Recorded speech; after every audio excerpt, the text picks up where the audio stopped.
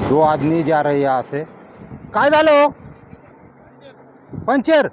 हो इथं गाडीच्या पाठीमागं पंचरवाला आहे.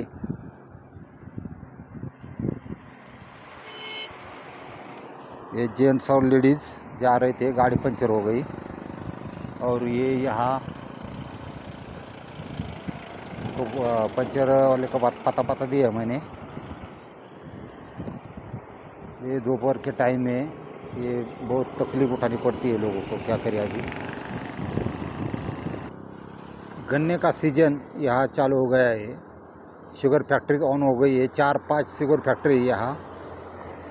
तो पहली गन्ने के ट्रक दिखाई दे रहे मुझे। कोशिश कर रही है। हाइट लोड रहता है। इसकी ड्राइविंग अलग तरह की रहती है। ये हिलडुल ज़्यादा गई तो ये गाड़ी पलटी हो जाती है। ऊपर तक हाइट रहती है। लोड रहता है। टाटा की गाड़ी है। छः चक्का। देखो गियर बदला अच्छे तरीके से। और निकली। सुंदर तरीके से डिज़ाइन की हुई गाड़ी ऊपर तक। और ये एक आर्ट है, गन्ना एक के ऊपर एक रखने का।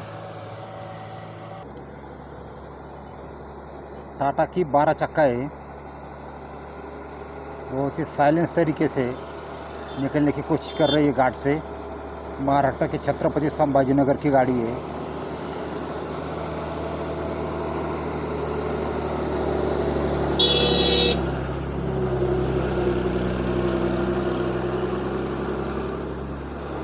बहुत ही आसानी के साथ गाड़ी ने घाट पास की है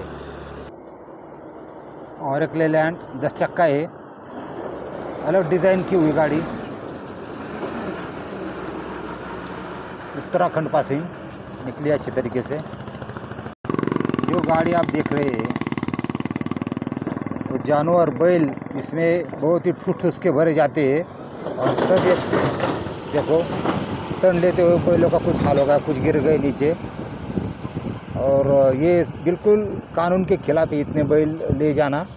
लेकिन ये शुगर फैक्ट्री के जो मालिक होते हैं वो एमएलए या उनके बगल बच्चे होते हैं तो उनके ऊपर कार्रवाई नहीं हो सकती।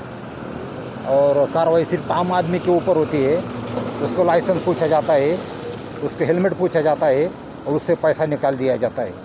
हाँ, ऐसी बात है। ये गाड़ी मेरे ख्याल से लीलैंड की है, बारह चक्का। और घाट शुरू होने से पहले गाड़ी ने शायद क्राउलर गियर डाल दिया है। और पासीघेन नागालैंड। बहुत सारे मालिक यहाँ महाराष्ट्र के और गाड़ियाँ पासिंग करते हैं नागालैंड में। अशोक लेलैंड की गाड़ी है। इकतीस अठारह।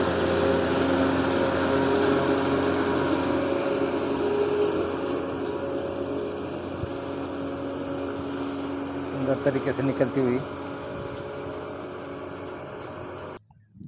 टू व्हीलर राइडर देखिए, कितनी स्पीड से आ रहा है यहाँ। अभी घाट तो